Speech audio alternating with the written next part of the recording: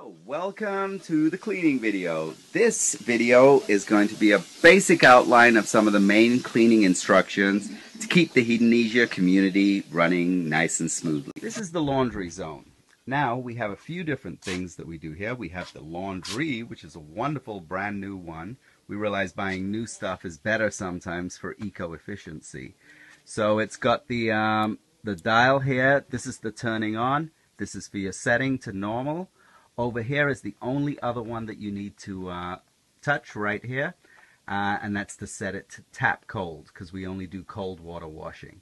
Then you put your clothes inside. We use something very unique at Hedonisia. They're called Eco Nuts.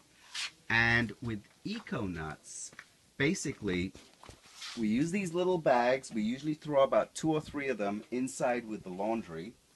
And then these are the Eco Nuts. They're actually a South American nut that creates soap and actually does a great job of cleaning clothes.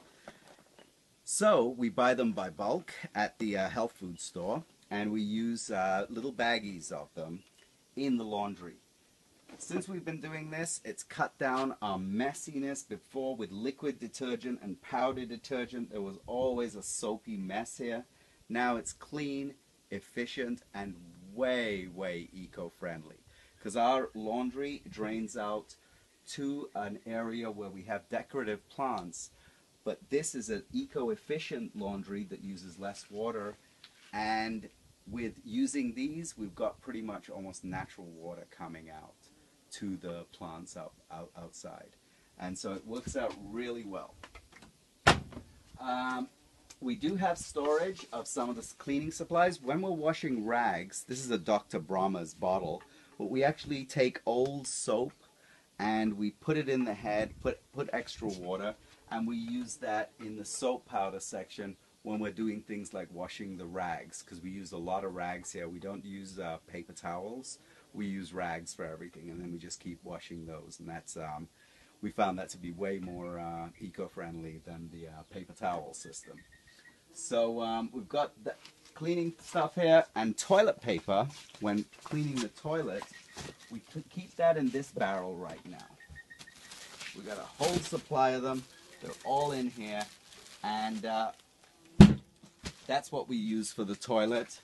Over in the toilet, I'll show you where that is. We got the little, the fish tank. We try to make sure that this is clean. This is the mosquito eating fish in here. So we always try to make sure there's not too many weeds or water lilies growing on top.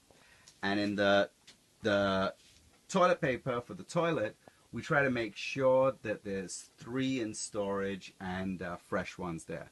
So I'm going to have to put two more up there in the barrel.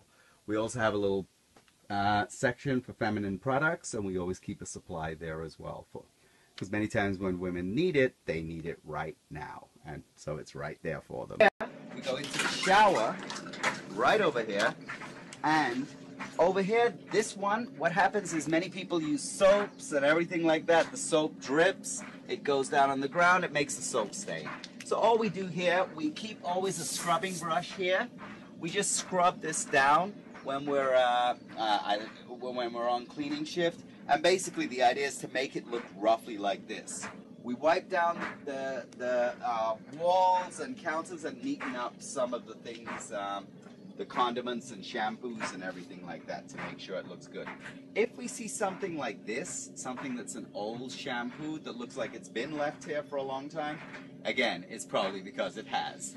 It's now what we call an abandoned shampoo. What we do with those is we'll take those and we'll put them in this area here, in the laundry area, put them here. As you're going along this way, you do a cleanup of the toothbrush zone. Uh, again, trying to keep people's personal stuff on the upper levels or in the drawers here. And um, basically wiping down the counters and stuff